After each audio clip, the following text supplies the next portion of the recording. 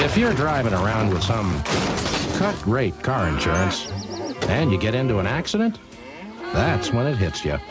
There's no State Farm agent to turn to for help. All operators are busy. Please hold. So, the choice is yours.